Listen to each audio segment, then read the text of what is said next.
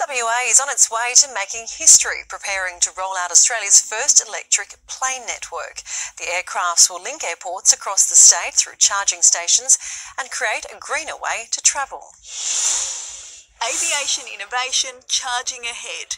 25 regional airports across our state will soon look like this, fitted with charging stations for a fleet of new electric aircrafts. First electric aviation network, uh, certainly in Australia, I've yet to find anything of similar scale worldwide as well. The planes will take off through an on demand service. You'll be able to book a pilot, the aircraft, or both. They'll look similar to this, but can take up to four passengers and fly as far as 750 kilometres on one charge. The aircrafts are better for the environment, and experts say smart technology will make them safer for those on board. Like a late model vehicle, how it refuses to crash into something, the aircraft will be very, very similar. Charging time will be similar to the flight time. It's uh, been a long time in the making. The saying is uh, every overnight success is about 10 years of hard work, and that's what it's felt like.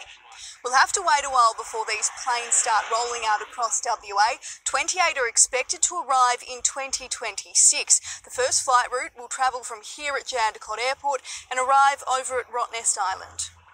Other proposed locations for the grid include Mundaring Airport and Northam. We're a little bit early, definitely, but the work needs to begin now to create this sort of network. Starting in WA, the plan is to eventually expand right across the country.